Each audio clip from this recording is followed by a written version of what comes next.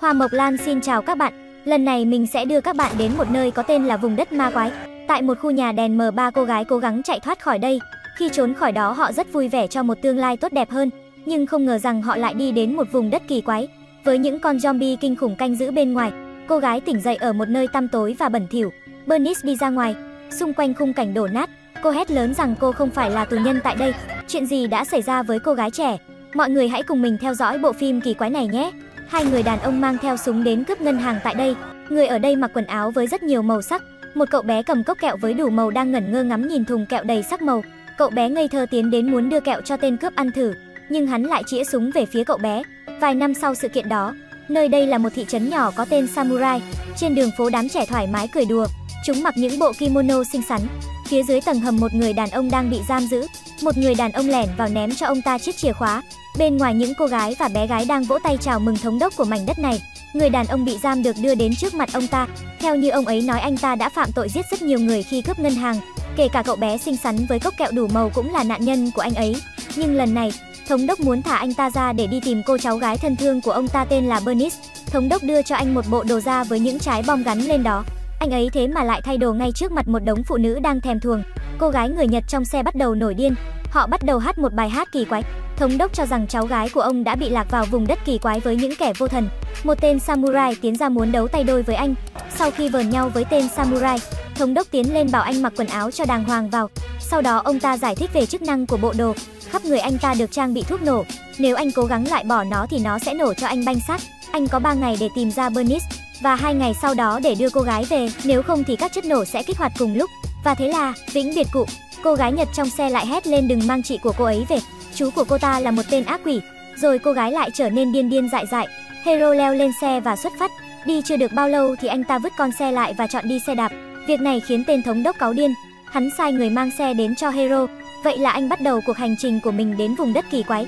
Đi đến địa phận 244, Hero dừng xe và gặp một đám mặc đồ samurai trên đường. Anh lao xe phi thẳng vào bọn chúng. Anh bị bất tỉnh nhân sự. Trong cơn mơ, anh mơ thấy ngôi làng samurai. Tất cả mọi người đều đeo mặt nạ. Có cả cậu bé với cốc kẹo nhiều màu đang chạy về phía ngân hàng. Khi tỉnh dậy, Hero nhìn thấy mình bị một đám người bắt giữ. Họ đưa anh lên cáng kéo đi. Một cô gái với bộ đồ kimono đỏ bên cạnh. Hero hỏi cô ấy có phải là Bernice không? Cô gái lắc đầu. Anh được trở đi qua một khu vực có rất nhiều hình nộm. Có những người bị nhốt trong cái hình nộm đó. Một đám người với bộ đồ trắng tua rua đang chào đón anh. Cô gái quen thuộc anh đã gặp lúc trước. Cô ta vẫn điên loạn như thế nhưng bẩn thỉu hơn. Ở đây mọi người đều ăn mặc rách dưới. Họ phải lao động khổ sai để giữ cho đồng hồ không chạy. Một cô gái đi đến, cô ấy sờ vào anh và hét lớn rằng cô ấy nhìn thấy máu đỏ. Kỳ lạ là mọi người nghe thấy như vậy đều rất vui mừng. Họ cho rằng thời gian sẽ quay trở lại mảnh đất này. Một đám người bu lấy anh ấy sờ mó khiến anh tức giận. Một người đàn ông trung niên bước ra nói với anh rằng anh đang ở vùng đất ma quái. Ông ta tự xưng là Inic là người đứng đầu ở đây. Đây là vùng đất không lối thoát chỉ dành cho những người có sức chịu đựng. Hero hỏi về Bernice, cô gái tóc đỏ cũng đang muốn tìm bạn của mình. Họ nhanh chóng nhận được thông tin rằng Bernice đã bị biến thành một trong những con ma nơ canh. Hero còn tưởng họ nói đùa. Anh tiến đến đám ma nơ canh, lật tìm từng chiếc. Đằng sau lớp da ma nơ canh quả thật là có người sống bị nhốt bên trong. Một người đàn ông chạy theo anh ấy cố gắng che chắn lại cho đám ma nơ canh. Anh ta nói rằng anh ấy đang cố gắng cứu Bernice khỏi những con ma ở đây. Ở đây họ đều là tù nhân. Cô gái cũng không thể tự nói chuyện được. Cô đã bị dính lời nguyền. Hero nóng lòng đưa cô ấy về nhà. Anh tìm cách thuyết phục cô gái. Cuối cùng Bernice cũng đồng ý đi theo anh. Mọi người đều muốn thoát khỏi vùng đất này, nhưng họ sợ những con quỷ chặn đường họ. Hero kéo cô gái đến một chợ xe. Anh ấy muốn mua xăng để đổ cho chiếc xe của mình. Sau khi có được xăng, Hero tiến đến gỡ đám da maner canh khỏi người Bernice. Anh ấy yêu cầu cô nói vào loa để giúp anh có thêm thời gian và không bị nổ banh xác, nhưng cô gái vẫn một mực im lặng. Cô ngồi dậy cố tình đụng vào một trái bom phía dưới khiến nó nổ banh bi ông Hero. Anh dãy đành đạch cầm viên bi lên rồi ngất lịm, rồi ổng lại nằm mơ, mơ về ngày trước ông cùng người bạn thân của mình đi đến ngôi làng samurai. Có những cô gái mặc kimono đang nghịch trái bóng nhiều màu sắc, họ luôn đeo những chiếc mặt nạ kỳ lạ. Hai người rút súng ra đi theo bạn nhỏ vào ngân hàng. Họ lớn tiếng gào thét yêu cầu nhân viên ngân hàng đưa tiền. Hero nhìn thấy người bạn của mình đang chĩa súng vào cậu bé. Anh chạy đến ngăn cản, người bạn đó đạp ngã anh. Hắn giết tất cả mọi người kể cả cậu bé dễ thương đang đứng cầm kẹo. Hero lao về phía hắn. Hai người đánh nhau kịch liệt. Cảnh sát đã đến. Họ chĩa súng về phía hai người. Tên đồng bọn của Hero cũng chĩa súng về phía đám cảnh sát rồi nổ súng. Cảnh sát cũng nổ súng. Họ bắn vào cả vào các camera chạy bằng cơm đang đứng hóng. Tên đồng bọn bị bắt hắn luôn miệng hét rằng Hero là tên hèn nhát phản bội. Một bé gái đã bị thương ở chân vì trúng đạn. Cô bé đó chính là Bernice. Hero tỉnh dậy nhớ ra mọi chuyện, anh tiến đến xin lỗi cô gái. Bỗng nhiên một đám zombie từ đâu bò đến tấn công họ. Trong lúc đang giằng co với đám zombie, chúng làm một quả bom trên tay Hero lại nổ. Thế là một tay bị phế luôn. Nhưng tiếng nổ đã khiến đám zombie sợ hãi mà biến mất vào hư vô. Anh trai lại ngất. Trong giấc mơ Hero và Bernice quay trở lại vùng đất kỳ quái. Họ được những người dân ở đây kể lại về lịch sử của vùng đất, do có một chuyến tàu chở bụi hạt nhân và những tử tù đi qua đây. Chuyến tàu đã bị tai nạn khiến mọi thứ chìm trong biển lửa, còn những tử tù biến thành quái vật canh giữ vùng đất này. Họ nói rằng Bernice là linh hồn thuần khiết, cô ấy chính là chiếc chìa khóa rời khỏi nơi này. Chiếc loa trên tay của Hero phát ra âm thanh khiến Bernice tỉnh dậy. Cô gái cố lết đến chỗ Hero và nói tên vào đó, nhưng chiếc máy không nhận. Đến khi nó chuẩn bị phát nổ, Bernice hét thật to tên của mình. Cuối cùng thì chiếc máy cũng chấp nhận cứu Hero khỏi bị nổ banh xác. Bernice cố gắng gọi Hero tỉnh dậy. Tại Samurai Town, tên thống đốc đang vui vẻ với đám gái trẻ của mình. Họ phục vụ cho ông ta và được ném tiền cho nếu làm ông ta vui. Tên thống đốc có vẻ sốt ruột vì đã hai ngày mà chưa thấy Hero trở về. Một cô gái bạn của Bernice bị bắt trở lại. Hắn hỏi có phải cô đã dụ dỗ Bernice trốn đi hay không. Cô gái nói rằng đó hoàn toàn là ý của Bernice. Nói rồi tên thống đốc gọi một tên tay sai ra xử lý cô gái. Bông hoa thế mà bị chặt đứt. Những cô gái ở đây cũng chỉ là đồ chơi cho tên thống đốc và đám tay sai của ông ta. Yasujiro là một trong những tay sai đắc lực của thống đốc. Anh ấy ở lại đây vì em gái của mình cũng bị nhốt lại làm gái. Anh muốn em gái mình sớm được tự do nên đành làm những việc bất nhân này. Quay trở lại vùng đất kỳ lạ, Bernice quay trở lại vùng đất xin giúp đỡ vì không gọi được Hero dậy. Không lâu sau Hero đã tỉnh dậy trở lại vùng đất. Anh biết rằng có một sức mạnh nào đó đang giúp anh. Anh có một nhiệm vụ phải hoàn thành, chính là phải giải phóng cho vùng đất. Tối đó Bernice lại gặp phải ác mộng. Cô giật mình tỉnh dậy. Họ bắt đầu lên kế hoạch để đưa người dân rời khỏi vùng đất kinh khủng này. Hero thông báo với mọi người rằng ngày mai họ sẽ rời khỏi vùng đất này, nhưng người dân cho rằng không có cách nào rời khỏi nơi này.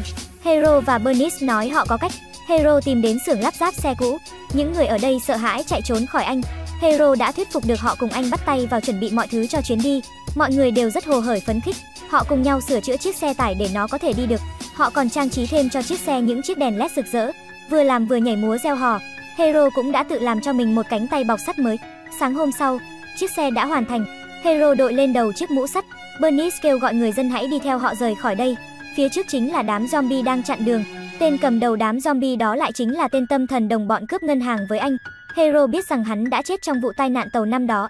Anh yêu cầu Psycho giúp anh đưa mọi người rời khỏi đây. Hắn nói cho Hero biết kẻ thù lớn nhất của họ chính là tên thống đốc. Psycho cũng muốn được tự do thay vì bị kẹt lại đây mãi. Anh ấy quyết định sẽ để cho Hero đi. Psycho lùi lại. Một vụ nổ hạt nhân lại được tái hiện lại trước mắt bọn họ và Psycho biến mất. Thời hạn đã đến. Tên thống đốc cho người ra chào đón Hero và Bernice trở về. Đúng như thỏa thuận ban đầu, Hero đã mang cô gái về đúng hạn. Tên thống đốc vui mừng chạy đến ôm lấy Bernice. Khi nghe thấy Hero yêu cầu mở khóa, hắn thẳng thừng từ chối việc mở khóa cho Hero. Anh đã dùng Bernice làm con tin để tên thống đốc đưa chìa khóa, nhưng hắn lại gọi tên tay sai của mình đến. Cô gái nhỏ thấy vậy nổi điên liền chạy đến chỗ khẩu súng bắn tỉa, bắn chết hết những tên tay sai của thống đốc. Của thế rồi chị không bắn luôn thống đốc đi còn để lại đó. Nhưng tên tay sai của thống đốc hóa ra lại rất đông. Hắn cũng chẳng màng đến sống chết của Bernice. Một tên tiến đến bắn về phía Hero và Bernice khiến cô gái bị thương. Hero lao lên ném dao xử lý một tên, dùng súng bắn chết những tên khác, nhưng quả thật rất đông. Bernice đưa Suzy lên xe đẩy cố gắng cứu cô bé khỏi nơi này. Đẩy được một đoạn thì một đám samurai từ đâu lao đến chặn đường họ. Bernice với một cánh tay bị thương không thể đối phó được đành quay đầu chạy. Chạy được một lúc thì Yasujiro chặn trước mặt Bernice. Anh ấy đã chán cách cai trị của thống đốc từ lâu, nhân lúc này anh quyết định sẽ giúp cô gái. Bởi vậy anh tiến đến phía đám samurai và xử lý chúng. Về phía Hero, với thanh kiếm được gắn ở tay và khả năng kiếm pháp siêu việt, anh ấy một chiêu đã xử lý gọn đám samurai lao đến. Bernice đưa Suzy đến một nơi an toàn. Cô nói với Suzy rằng cô bé không còn là tù nhân nữa. Cô để cô gái lại đấy, lao ra ngoài giải quyết một tên samurai và lấy kiếm của hắn. Sau đó xử lý thêm mấy tên nữa nhanh gọn và cắt cổ một tên khiến máu phun như thác. Ở một chỗ khác, Yasu với lòng trung thành của một samurai vẫn cố gắng làm tròn trách nhiệm. Hắn tiến đến đấu tay đôi với Hero. Hero luôn nhìn thấy cậu bé với chiếc áo đỏ xinh xẻo năm nào. Một mình anh chiến đấu với Yasu và những tên samurai khác. Yasu đá chân vào bi của Hero khiến anh hét lên đau đớn. Hai người chính thức đối đầu nhau. Không khí vô cùng căng thẳng và nghiêm túc. Cuối cùng thì Hero vẫn nhanh tay hơn. Anh ấy đã giết chết Yasu. Tên thống đốc cũng đã gặp báo ứng. Các cô gái đi theo ông ta đã ôm hết của chạy trốn khi thấy ông ta thất thế. Chẳng còn ai bên cạnh. Ông ta tìm thấy Suzy trên đường. Bernice đã quay lại kịp thời. Cô gái chĩa súng về tên giả háo sắc. Hắn bắt đầu nhắc lại những chuyện cũ, nhưng cô không quan tâm rồi tặng cho hắn vài viên kẹo chỉ. Thế là đi đời tên thống đốc. Suzy giữ chiếc chìa khóa bộ đồ của Hero. Cuối cùng thì anh cũng thoát khỏi đám đèn nổ đó. Khi biết tin tên thống đốc đã chết, Mọi người ở vùng đất ma quái gieo hò vui mừng, họ để chiếc đồng hồ được chạy lại, những gông cùng xiềng xích người dân đã bị nổ tan tành, mọi thứ lại trở lại bình yên như trước kia. Cảm ơn các bạn đã theo dõi phim cùng Hoa Mộc Lan. Hãy ấn like cho bọn mình để có động lực làm tiếp những bộ phim khác nhé.